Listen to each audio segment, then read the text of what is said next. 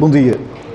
Hoje acordamos com um estudo que aponta para um facto que já desconfiávamos. Os portugueses andam a dormir mal, por várias razões. Algumas têm a ver com as notícias, nomeadamente aquelas que nos tiram do sério ou que nos trazem aquelas hum, prerrogativas que ditam que o futuro não é risonho, que o digam as câmaras municipais, que têm cada vez menos receitas e as dívidas continuam altas apesar da diminuição do passivo.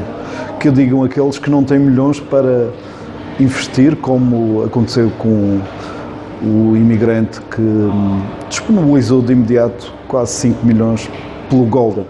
Que o digam aqueles que um, não têm uh, o pluralismo que felizmente nós em Portugal um, beneficiamos e que podemos dar uh, uma vista de olhos na última página de hoje.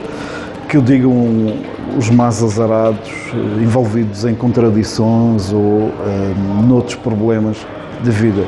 Enfim, dormimos mal, mas há sempre esperança. Uma esperança que hoje ganha outros contornos para aqueles que esperam ganhar uma estrela Michelin. A seguir com atenção no D Notícias.